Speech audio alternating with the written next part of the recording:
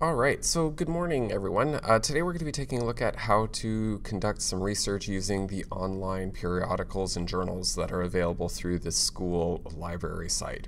So the first thing you need to do is to log into the byd.peelschools.org page, and you are going to land on sort of the homepage that looks like this, and the library access is down here towards the bottom uh, right of your screen. We're going to click on here, and it's going to take us over to the uh, school library page. And we need to be remember that we need to be accessing the resources that are for intermediate and secondary students. So I'm going to click on this and open it up. And these are all of the journals that are available to us through our school library system. Perhaps the two most important chiclets on this page are these two here. One is the Gale Power Search and the other is Explora. Uh, and these are search engines that allow you to search through all of the different resources that are here in one spot instead of going into each of these individually. All right, so I'm going to click on the Gale Power Search. It's going to open up a new window. Uh, and from here, right, I'm going to go to my the cross search option and I'm going to start my search. Now the thing to remember here is that you need to have effective keywords in order to help focus the findings um, within the database because otherwise you could easily become overwhelmed. Okay, so for example, if I wanted to do a search on identity, Okay, I'm going to type my search word in, and as you can see in the academic journals, there are almost 700,000 resources, which is a tremendous amount, and there's no way that we're going to be able to go through all of those and assess whether or not they are all relevant. So having a series of keywords that you can string together will help to narrow the search. So perhaps you are interested in the idea of um, identity formation.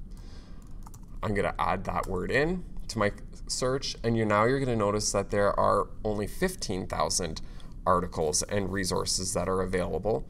I'm making it a lot um, a lot more focused, but at the same time, that is also very, very broad. There's a lot of resources. So I'm going to continue to add um, uh, words. So perhaps I'm going to be taking a look at um, theories around black identity formation uh, and I'm going to continue to add in, right? So now I'm down to 203, which makes this a lot more manageable, right? Perhaps you also wanted to take a, a look at a black feminist perspective, right? And I can add that in, right? And now, right, I've added so many uh, keywords in that I'm getting a very, very limited um, search result, right? So I can go back in, I'm going to remove that last word, and right? Now I'm on a spot that's a little bit more manageable, right? So there's different types of resources that you can be accessing here. One are magazines, academic journals, books, and news articles, right? And we want to be taking a look for um, entries that contain full text, okay? So that means that you can access the entire article. So if I come over to academic journals, all right, I'm going to go through, and one of the things that I'm actually going to kind of keep an eye on here is the word count, right? Typically, if the word count is a, a little bit higher, then that is going to uh, indicate that there, you know, it's more of an article as opposed to a summary of something else.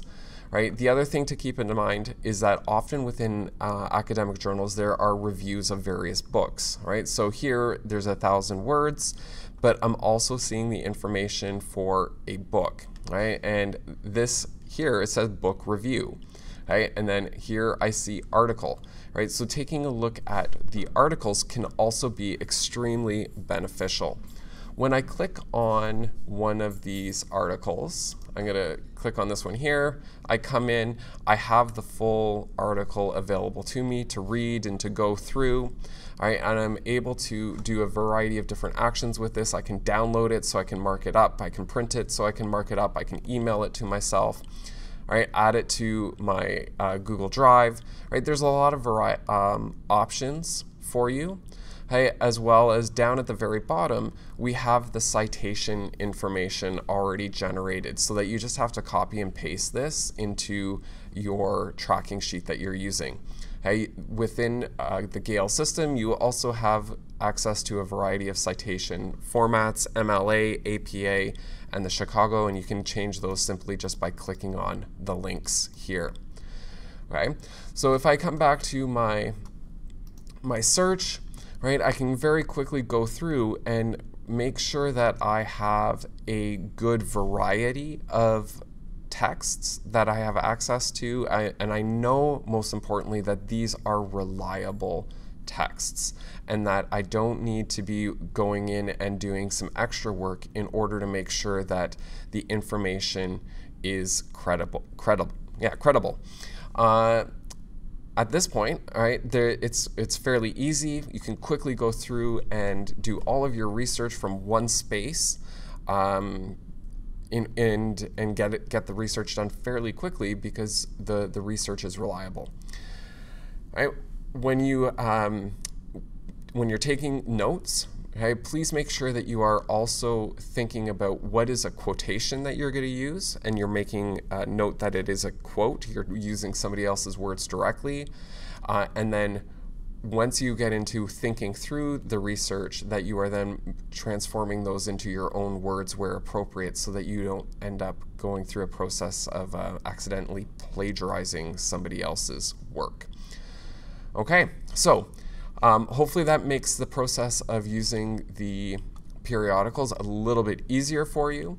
Uh, and again, if you have any questions, please just make sure that you're asking. Thank you very much. Bye.